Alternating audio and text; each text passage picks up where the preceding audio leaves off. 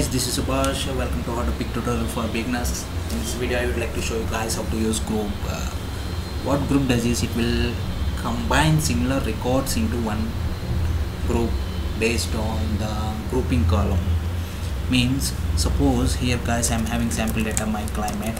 So in my climate is having these uh, sample rows. Suppose if I want to combine if I want to group these rows based on year suppose here I having 2013 three rows.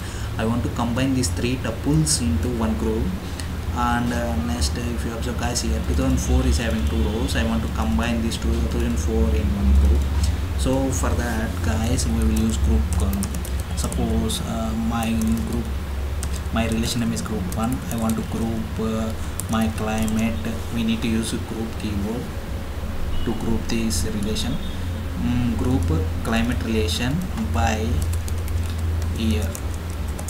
If I turn this one guys uh, see here guys uh, all all similar records are combined are grouped into one uh, relation.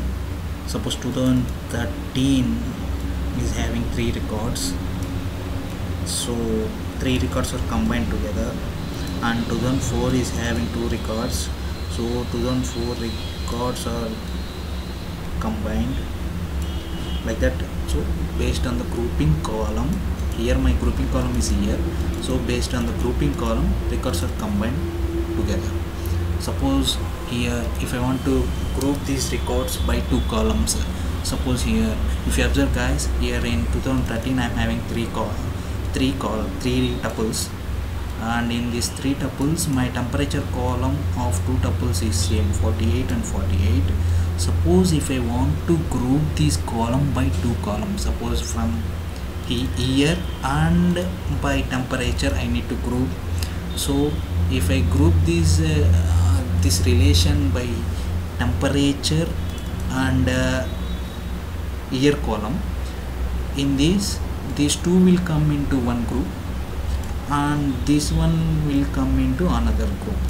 So guys if you clearly observe clear I am using group 1 group 2 I will use my relation name group 2 group my climate term by year year comma so if I dump this group 2 guys group 2 if you observe here 2013 48 so here two rows will group together based on this uh, columns. And here 2013 34 so it is divided.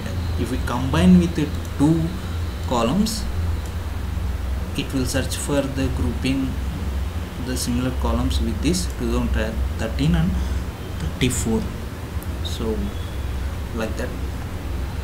So thank you guys. If you like please subscribe